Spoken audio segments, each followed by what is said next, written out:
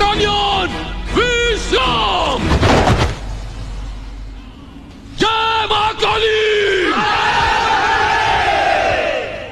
बहादुरी का दूसरा नाम गुरखा बटालियन है।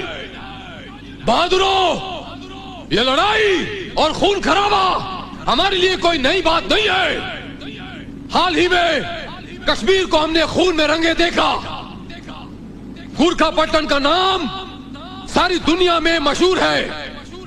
एक मर्तबा हिटलर जैसे सिपाही ने भी कहा था, अगर गुरखाओं की पलटन मुझे मिल जाती है तो मैं सारी दुनिया पे फतेह पा सकता हूँ। इसीलिए आज आपका ये सीओ ललित राय अपने बहादुर सिपाहियों को कारगिल पे फतेह देखना चाहता है। कोई शक जय महाकाली